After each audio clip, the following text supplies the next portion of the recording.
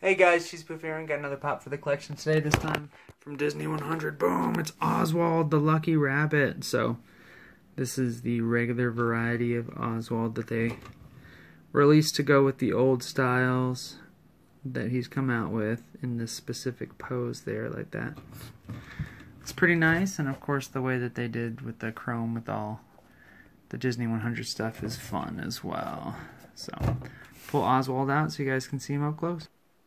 So here is Oswald I'll pull up. You can see he's got his little ears basically on the back of the head there. The rest of the Mickey style face, blue shorts, just the hand popped out. And then his little black feet there too. There's the Disney logos. And he comes with the base, and then definitely, for the most part, he's a pop that doesn't seem to want to stand. Maybe if you turn his head like that, he will.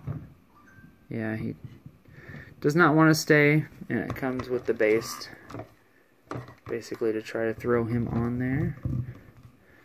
But just throwing him up like that, so you can at least see him in all the forms of lighting there too. So, let me know what you guys think of this version of Oswald.